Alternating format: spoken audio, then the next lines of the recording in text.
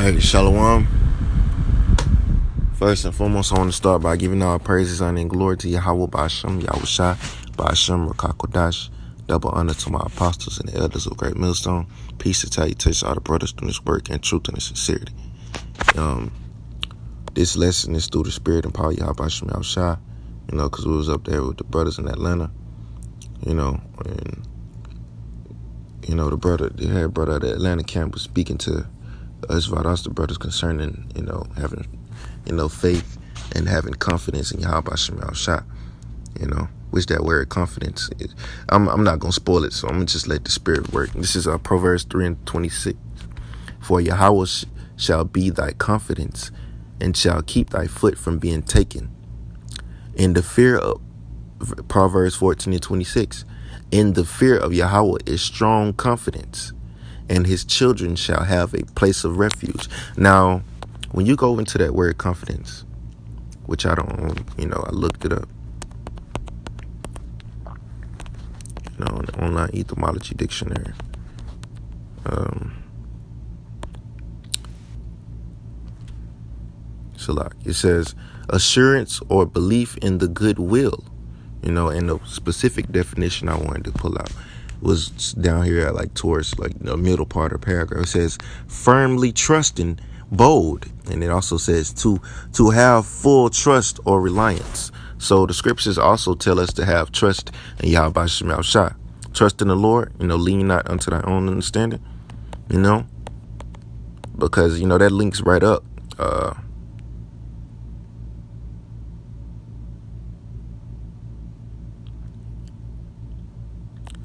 I'm trying to find a good precept through the Spirit. You know, because the men of the Lord had confidence, you know, and it's not to get confused with pride, you know. And the brother made that very clear. You know, you can have confidence and not be proud, you know. It's all about the humble humbleness of your mind, man. Philippians 1 and 25. And having this confidence, I know that I, I shall abide and continue with you all for your furtherance and your joy of faith. You know, so we have confidence.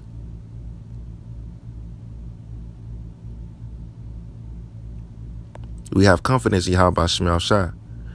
Second Thessalonians 3 and 4. And we have confidence in the Lord touching you that ye both do and will do the things which we command you. You know, we have trust in the Lord, man. Hebrews 10 and 35. Cast not away, therefore, your confidence, which hath been great recompense of reward. So we not ought not to cast away our confidence, man.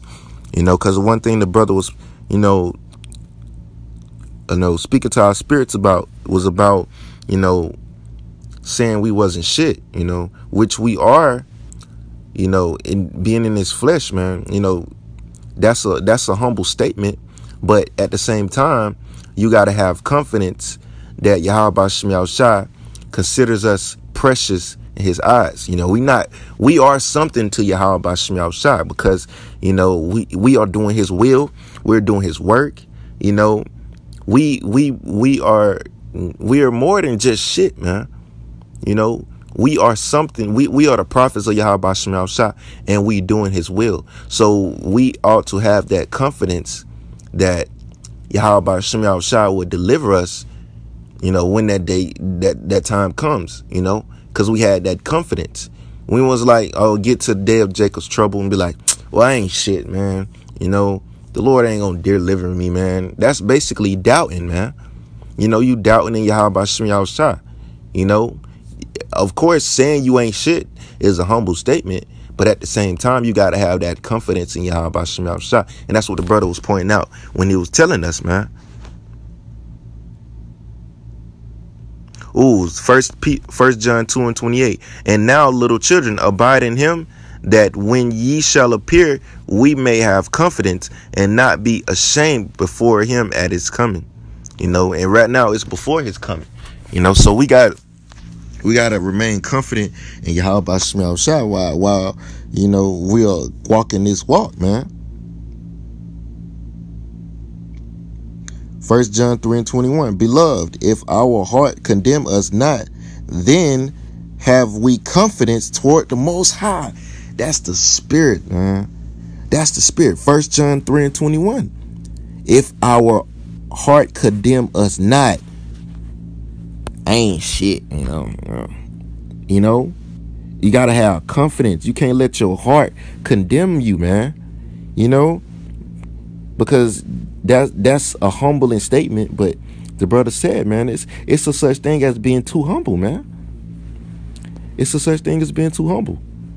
So you gotta balance it out through the spirit. You can't have pride in the Lord, of course, because the Lord hates that. You gotta have confidence. With that word confidence goes back to trusting and believing in him.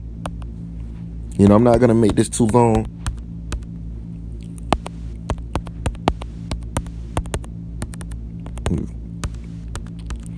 the spirit's kind of late, so you know I'm trying to get it, get in, get out.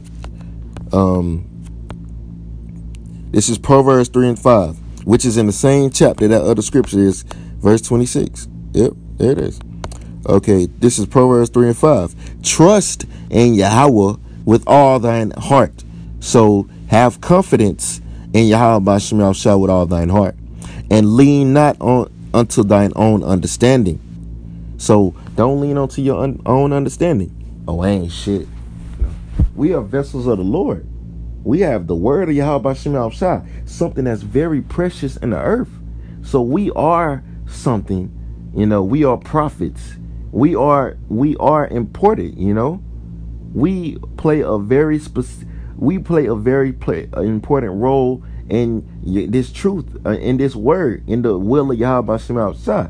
So we must carry ourselves and have faith and confidence in Yahweh Shah, you know, not saying, you know, you know, not uh putting yourself at that number, but having having a mindset that if you continue on the path that you're on, it's a possibility that you may be a part of the elect. You know, having that type of mind frame, having that confidence.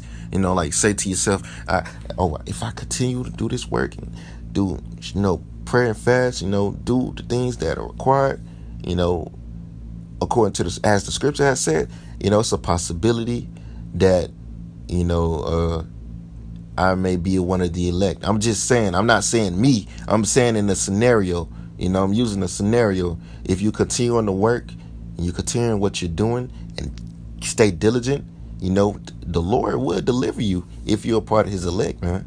And that's that's the, without a shadow of a doubt, man. So with that, you know, I wanted to get in and get out through the spirit of power Yahba Shemel Shah. I want to say call Allah Yahba Shemel Shah, Barakatah Yahba Shemel Shah, Bashima Kakodas through the spirit and power Yahba Shemel Shah, and Shalom.